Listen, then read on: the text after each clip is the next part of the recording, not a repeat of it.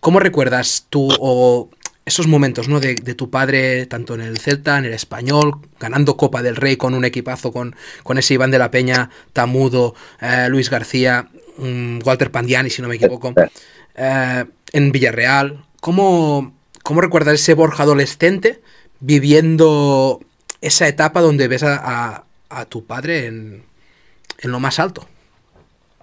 Pues que no te, eh, eh, pues es, es, es, es, difícil de imaginar, yo creo, porque bueno, al final eh, siempre no estas cosas parece que las viven los futbolistas o la gente más apegada a los futbolistas.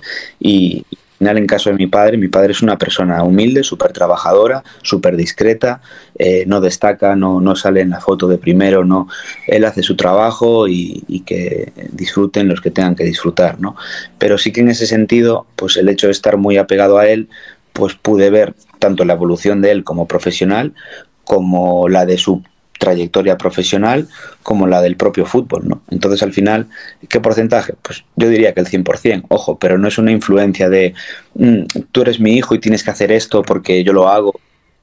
simplemente es muy difícil, Jordi, que tú eh, con 8 o 9 años eh, si tu papá es, eh, pues forma parte de un staff, de un equipo profesional y tienes la oportunidad de ver los entrenamientos, conocer a los jugadores, a los empleados del club, ver cómo funciona un equipo, cómo funcionan pues ir conociendo a los entrenadores, eh, ver cosas. es muy difícil que yo creo que un niño que viva tan cerca de eso, de balones, de botas de fútbol, de césped, que no le apetezca, oye, pues que igual no, igual no te entre el gusanillo y vas y lo ves y no te gusta porque te distraes con otras cosas, pero es que a mí me gustaba mucho.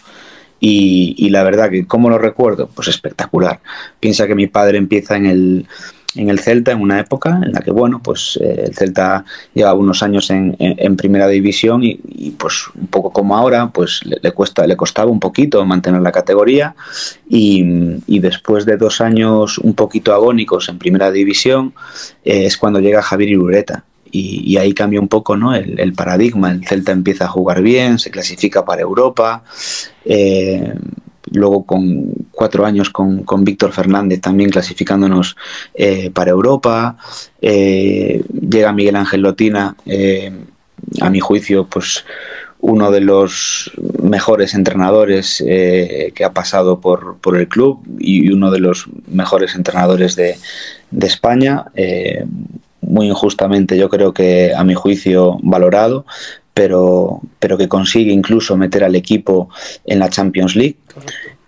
Todo eso de niño a adolescente, jolín, que el equipo de tu ciudad eh, pase de pelear por mantenerse en primera división, meterse en Europa, eh, conseguir llegar a una final de la Copa ah, contra el Zaragoza en Sevilla, eh, que nos dolió mucho a todos, pero que, que, se perdió. Que yo pudiera vivir, yo en el 94 la otra final pues era muy pequeño, no, no, no, era tan consciente, tenía seis años, pero de la otra estaba allí en la cartuja y me dolió mucho, claro. Eh, y ver todo eso, luego, pues el fatídico descenso, se acaba yendo al español con, con Miguel Ángel Lotina, el primer año consiguen eh, clasificación para, para la Europa League eh, que el español llevaba un tiempo sin, clasificarse. Al año siguiente, bueno, en Liga se complica un poco, pero consiguen un título, que ya vemos lo difícil que es, que es conseguir títulos. Copa del Rey, mira el Atleti de Bilbao, qué locura, eh, después de tantos años. 20 años después.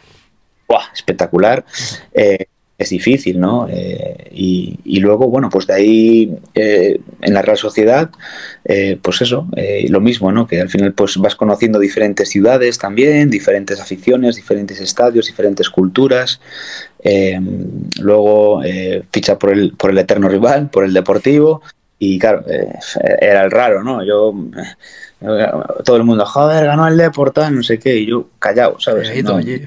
Calladito, calladito, calladito iba a ver el Depor allí eh, cuando jugaban en Riazor y claro, cantaban Vigo no, yo calladito allí sentado.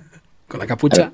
Calladito, con la capucha, eh, queriendo que ganasen, lógicamente, porque, pues, pues porque apoyo el trabajo de, mi padre, lógicamente, y, y en el mundo del fútbol al final pues puedes estar en, cualquier sitio, hay que ser lo, máximo profesional posible y, y, con el máximo respeto posible.